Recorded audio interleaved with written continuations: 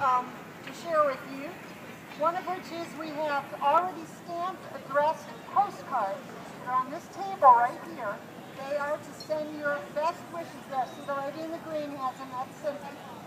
Uh, those are addressed to Marissa at her prison in Florida.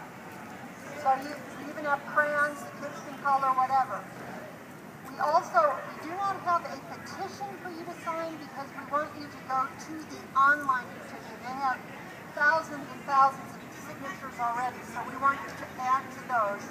Okay. Um, but those are on those little sheets of paper that you may have had already, the little half sheets, little quarter sheets. Yes, Cindy has those as well.